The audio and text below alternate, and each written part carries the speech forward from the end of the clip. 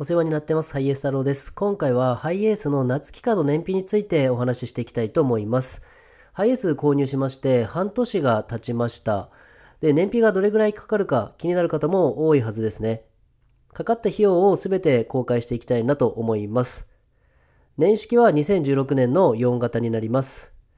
駆動方式は4駆でガソリンはディーゼルになります。アドブルーを使わないディーゼルエンジンの最終モデルになりますね。購入時のキロ数は16万7000キロということで仮想降車を購入しました。このように、えー、今は17万2528キロと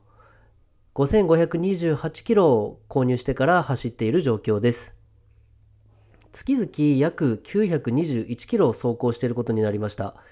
まあ、できるだけエコモードといってこの指で指したところアクセル踏んだ時にエコモードが点灯するとエコで走れてるよということで燃費の削減になるかなというイメージでこの点灯を意識しながら走っています。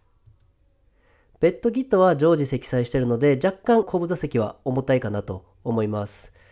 乗り方としましては街乗り、えー、勝手に定義したんですが10キロ以内で、えー、6割ですね。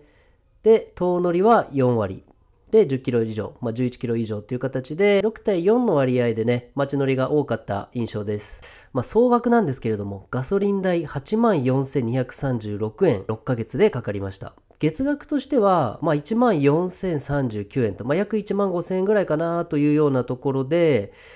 まあ、思っていたよりもそこまで高くはないのかなというような印象で、軽油1リットルあたり128円でまあ計算してます。ちょっと、えー、一般的なね、エネオスさんとか、そういったちょっと高価なところではなくて、安めのガソリン屋さんを探しての値段ですから、ここの辺りはちょっと皆様とは違う金額があるかなと思うんですけれども、まあ、安めのところで入れて、えー、この値段平均取れていました。1リットルあたりどれくらい走ったかということなんですけれども、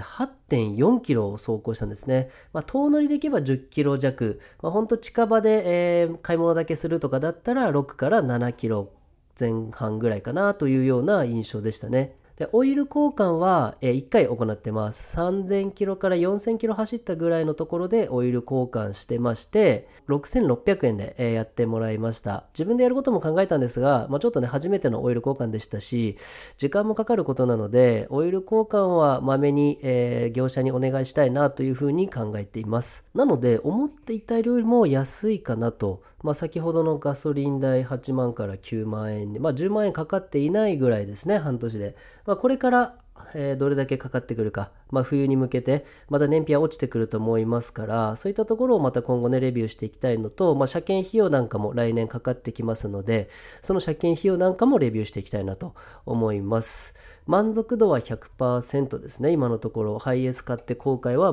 全くないです。以上端的ではあったんですけれども6ヶ月のレビューとさせていただきました。今後もこういった動画を発信していきたいなと思いますのでぜひご視聴の方よろしくお願いいたします。チャンネル登録も励みになります。ではまたお会いしましょう。ありがとうございました。